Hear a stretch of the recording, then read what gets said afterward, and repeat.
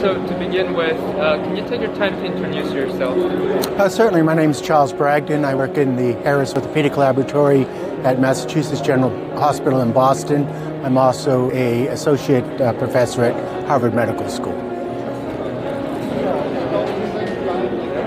So the first question is, how did you feel about the uh, lunch and learn presentation about the evalu- evaluation of the animal study?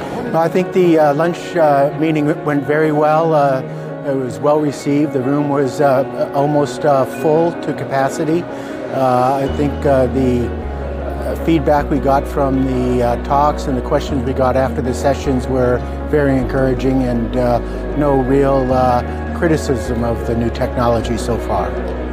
And from point of view as the uh, medical specialist, uh, what is your thought about the idea of implement, implementation, uh, implementing the bioprinting technology for knee treatments? Yeah, well, I think uh, we're off to a good start with a small uh, clinical study in Egypt, and uh, the clinical outcome studies is one of my specialties, working with groups around the world, and I'm looking forward to participating in in uh, increasing multi-center studies of this new technology and doing a good scientific research to show its safety and efficacy.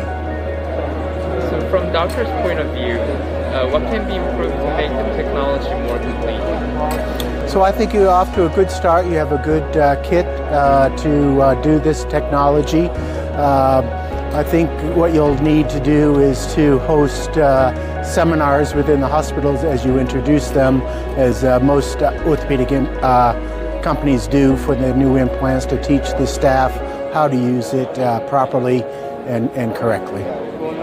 So to begin with, uh, can you introduce yourself? Uh, my name is Muhammad Abdel Hamid. I'm a professor of orthopedic surgery and arthroscopy in Assiut University in Egypt. I'm the head of the arthroscopy unit in Assiut University in Egypt. Uh, and I'm working as a consultant of uh, with ROKIT Company. so the first question is, what was your impression about the uh, lunch and learn presentation about the Egypt clinical?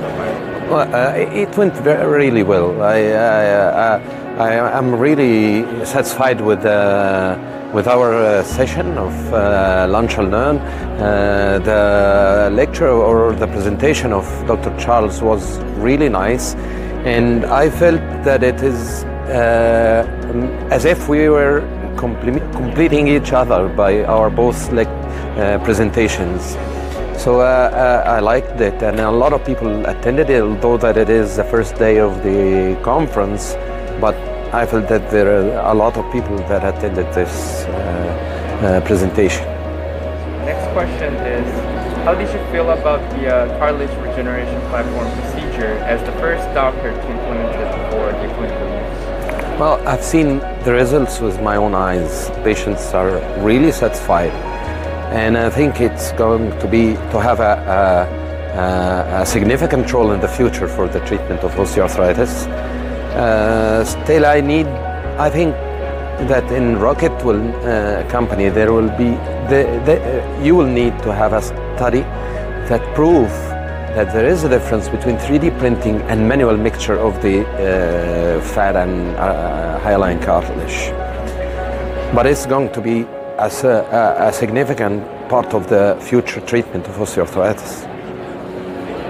Last question is, what do you expect for the future of ROKIT technology in the medical society? ROKIT is launching like a rocket, it is going to be a, a big company, a big name, if it keeps on uh, following the new technologies and new inventions. Uh, it is going to be a pioneer company in, uh, in regeneration of, of tissues anywhere in the human body.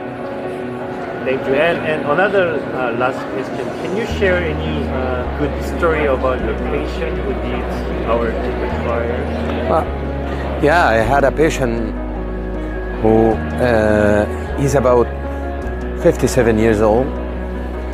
And at his last visit, at six months follow-up, I can go back to work in the field, kneeling on the ground, that something that I, have, I haven't done in within the last three years.